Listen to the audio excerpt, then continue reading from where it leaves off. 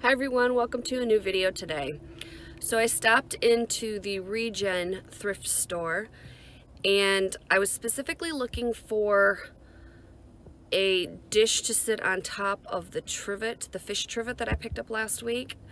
Unfortunately, I did not find what I was looking for there, but um, I did, hold on a second, I did find a workout shirt, blue, um, it's the only thing that I found that I ended up picking up. Uh, you will not see this in the video because it was near the front and I needed both hands to go through the clothing rack.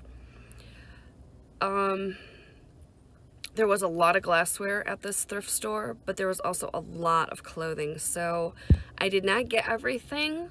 Um, I hope to on my next trip. And I did not do any talking while I was in there either, so you'll have to forgive me for that. I'm just not very good with talking out loud uh, to myself. Um, and this was my first attempt at videoing inside of a store, so hopefully um, you enjoy it, and I will talk to you all later. Bye.